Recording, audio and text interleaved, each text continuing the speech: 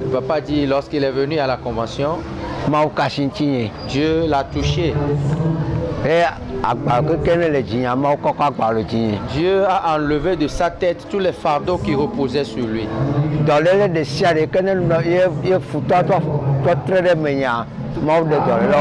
les maladies avec lesquelles l'ennemi l'a frappé, Dieu a enlevé ces maladies. Tous les jours ont été brisés.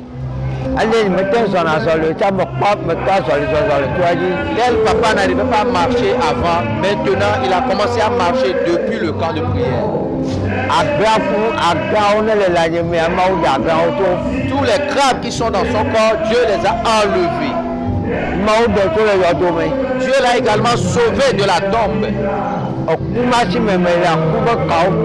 La mort qui le retenait entre ses mains a été détruite et il a été libéré de cette mort.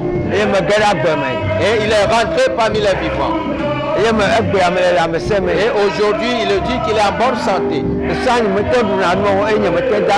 Avant, il n'arrivait pas à manger et il n'arrivait pas non plus à dormir.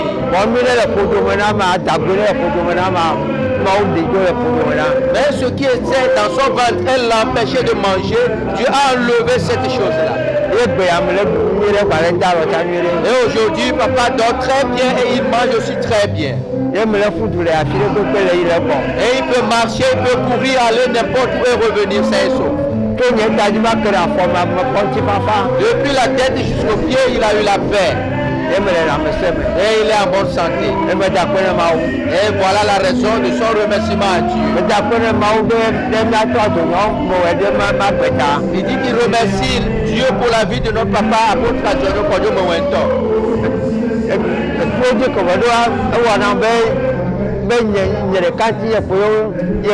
Centre de prière Il dit qu'il lui semble que le camp de prière a été établi à cause seulement de lui, pour que lui, il retrouve sa guérison. Et vraiment, il l'a obtenu.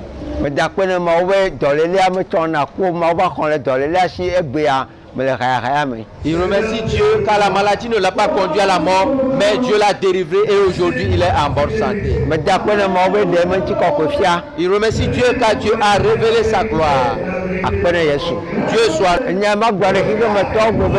Ce que papa dira maintenant à ceux qui sont en train de nous observer en ce moment, abe ŋusẽ dɔ me nenea comme euh, fortification bien exhortation, wole trɔ le tɔgbunuwo yome c'est de se détourner de ces pratiques ancestrales.